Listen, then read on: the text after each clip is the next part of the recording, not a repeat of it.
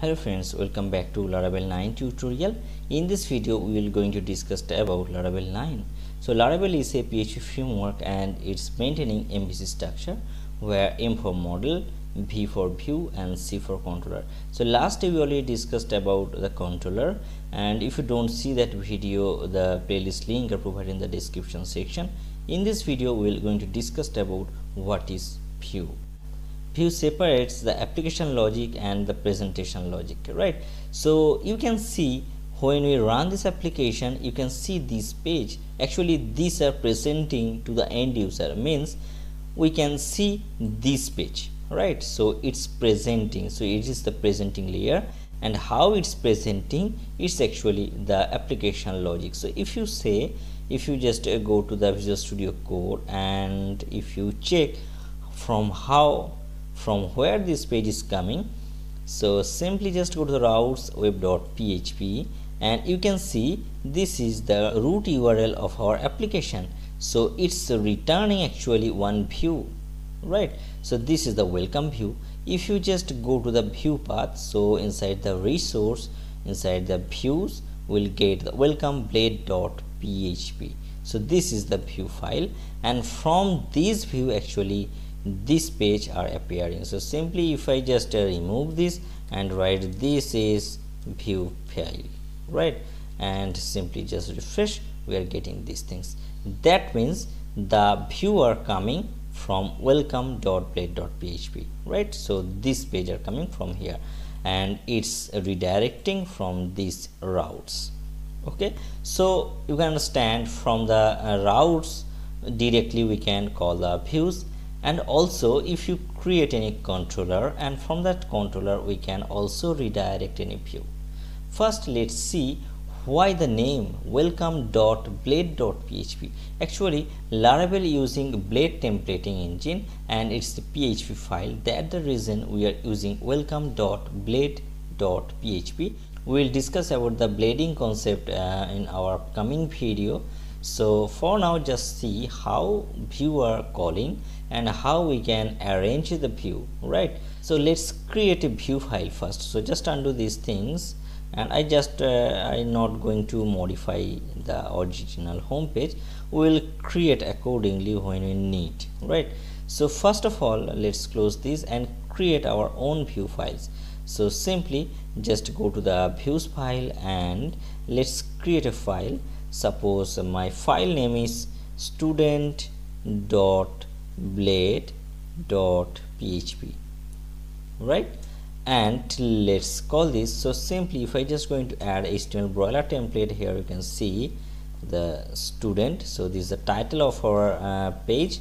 And let's use h1 tag and write this is student page okay? So how we can see this page right? So now if i just go into the routes and let's create a link that is student okay? And my blade name is student so simply write student only student. We don't need to write dot blade dot php. And if you just go here slash student we are getting this is student page that means directly we can call the blades file or view file from the routes. Now if i just want to send some data to the view file from the routes how we can do this? Let's create a variable name and let's write john okay? Uh, john. And how we can pass this name into the student blade? So we have a function that is compact and using compact just pass the name and we can receive the name from here. So simply create another tag like s2 tag and here write and or not and. My name is the file name uh, sorry the name okay? And now if i just refresh this here we can see my name is john. So we can pass variable to the view also if you want to pass any array type value we can pass. So simply write student array okay? Or student array anything. And here just write array and simply let's pass the details. Suppose the name and name equal to I am writing David. And let's pass the email. So here write email and you can write david at the rate email.com and in the same way just add another comma and let's pass your student array so simply copy this and here pass the student array and that can be accessible from here also. How? So simply just write um, inside the h3 tag. So just write student name is these things that is student array and we are getting the name from name. So here simply write name and here just write and email is in this way. So simply write dollar student array and write email. Okay?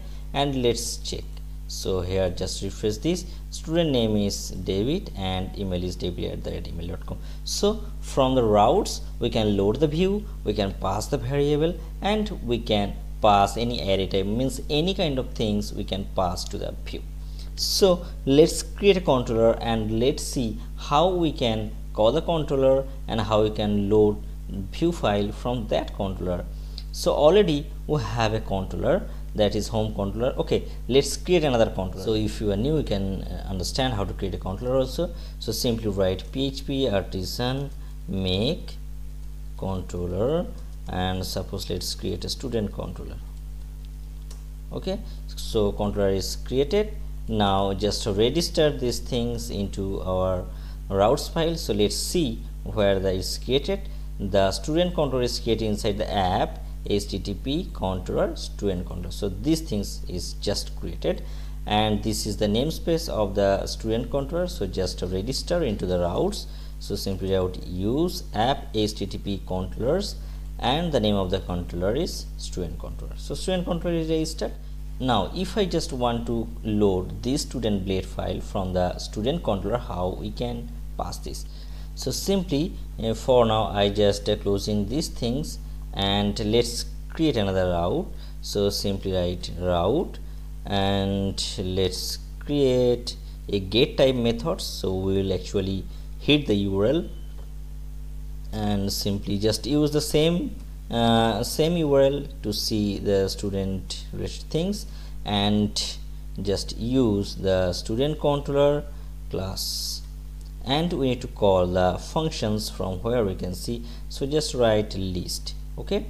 And just go to the student controller. So basically these are calling the methods from student controller. So we need to create a methods so write public function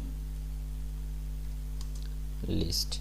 So actually all the things we discussed in our previous video when we discussed about the controller and if you don't understand properly you can see that.